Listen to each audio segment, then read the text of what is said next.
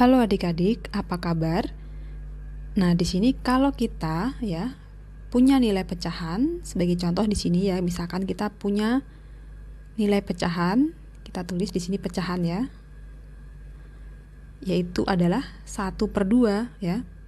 Yang artinya di sini pembilang dan penyebutnya ya, di sini pembilang adalah 1 dan penyebutnya adalah 2 ya. Nah, kalau kita diminta untuk mengubahnya dalam bentuk desimal, maka di sini kita dapat bagi yaitu satu dengan dua ya. Dari sini bentuk desimalnya adalah satu kita bagi dengan dua, maka hasilnya adalah 0,5. Nah, sehingga kalau nilai 1 per 2 kita ubah jadi bentuk desimal adalah 0,5. Nah, sedangkan kalau di sini nilai pecahan atau desimal ini kita ubah menjadi persen ya maka kita akan kalikan dengan 100 persen ya.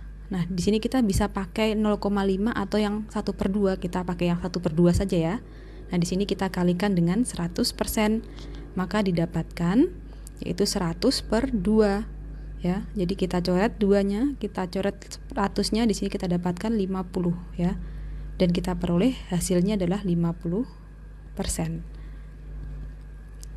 Nah, kemudian kalau di sini kita punya soal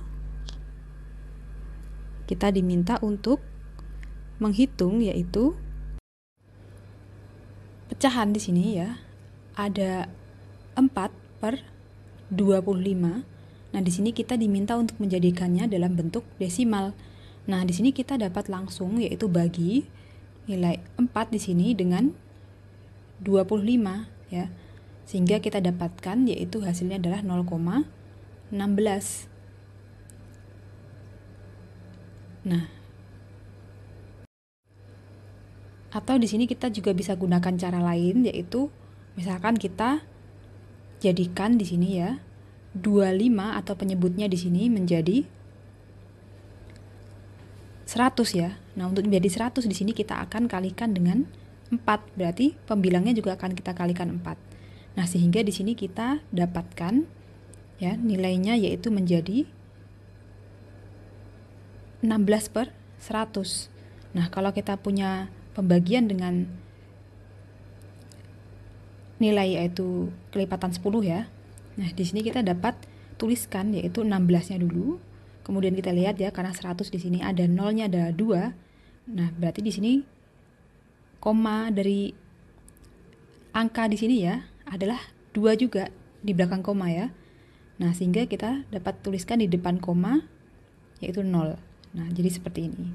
Nah, sehingga di sini hasilnya akan sama ya, yaitu hitungan kita tadi membagi 4 dengan 25 hasilnya juga 0,16. Nah, di sini kalau kita kalikan 25 di sini dengan 4 oh, supaya di sini menjadi penyebut 100 ya. Supaya dibagi lebih mudah ya. Ternyata juga sama 0,16 jadi di sini kita dapatkan yaitu hasilnya adalah 0,16 untuk 4 per 25 paham ya? Sampai ketemu pada pembahasan soal selanjutnya